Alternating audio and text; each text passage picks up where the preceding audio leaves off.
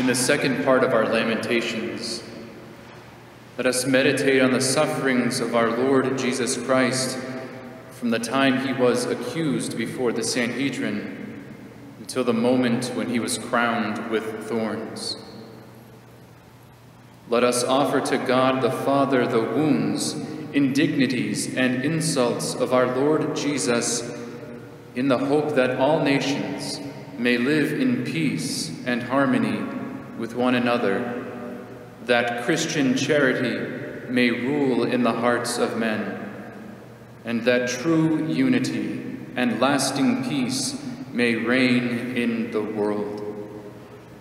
Let us also offer our Lord's Passion for ourselves, to obtain the remission of our sins and of our punishments for them, and to secure protection against pestilence, famine, war, and all calamity.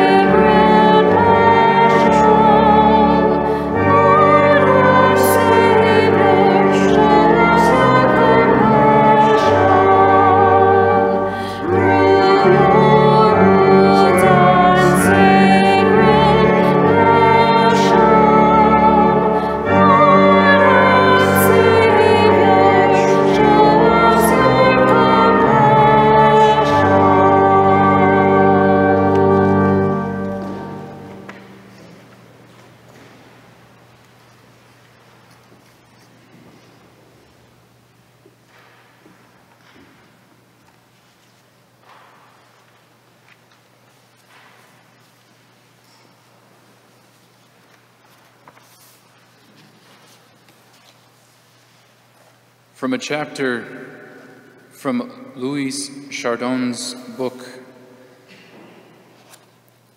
All God's benefactions toward men have their cause and origin in His creative love. This applies even to the visible sending of the Holy Spirit, one of the fruits of the Passion of Christ. The coming of the Son of God, however, can have no other cause because no created being can merit either the principle or beginning of grace, nor can one merit the incarnation, which is the source of this grace. The love of God alone is the cause of the incarnation.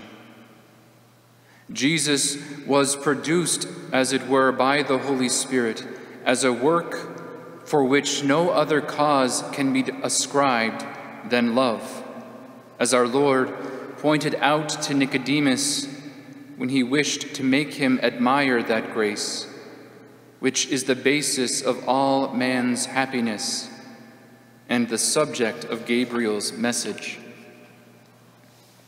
Once this profound truth is accepted, we can see in its light that the sending of the Son of God upon earth is the perfect proof and is more than enough to convince us of God's great love for us.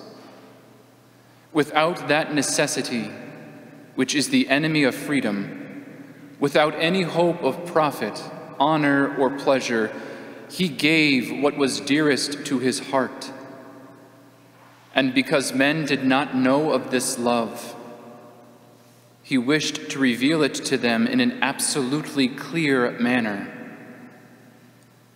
If to love is to give, if to love much is to give much, if of all gifts there is nothing greater than to give oneself, and if of all things capable of giving themselves, there is nothing greater than God, men will certainly have to confess that there is no better proof of God's love than His giving us His Son.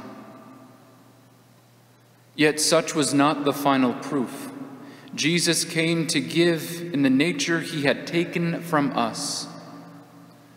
When Jacob made peace with Laban and raised up a stone as a witness to their mutual agreement, he assembled other stones around that one and called the whole the heap, or the pile of the covenant. That stone was clearly a figure of Jesus, who is the true witness of the eternal friendship which God contracted with man in the mystery of the Incarnation. But as if this witness were not enough, to impress upon our minds the greatness of his charity. He wished to be born only to subject himself to the rigorous necessity of dying. And because he is the origin and source of eternal life, he could not find in himself a cause of death, but had to seek it from the outside. He willed that terrible torments should violently tear his soul from his body when it was drained of the last drop of his blood. The birth and the death of Jesus were the two columns engraved with the most compelling proofs of his holy love. God so loved the world as to give his only begotten Son. God commends his charity towards us because when as yet we were sinners, Christ died for us. No one who attempts to judge these two venerable mysteries by standards other than the love of God could ever be persuaded of their truth. Jesus had been slain in his adult life, had he been slain in his early youth, or come into the world in another way than do human beings, we should have been deprived of all these goods. It is therefore no cause for marvel that the same weight inclined him to death and gave him the contrary inclination to flee and avoid it. That the same love which ravished him on the cross made him suffer its delay, and that if he chafed at not dying soon enough, he was careful not to put off the hour of his death in order to increase his sufferings all the more, thereby leaving us infinite proofs of his boundless love. He gave them to us from the moment of his conception in the womb of his mother, and during the nine months he lay there captive. He confirmed them by his birth in a manger, multiplied them again and again as he lived through the various stages of life encountering the many trials contrived by divine providence and by his own love with the deliberate intent of making him suffer in every possible way. What man could count his sufferings? Who could tell of his long fastings, imagine the warmth of his instructions? or do justice to his indefatigable care to realize the business of our salvation. No one can understand the desolation of his soul or the persecution launched against him by his own people, or the number of interior crosses which incessantly made of his soul a cruel Gehenna. The sands of the seashore and the drops of water in the ocean are not more numerous than were his sufferings.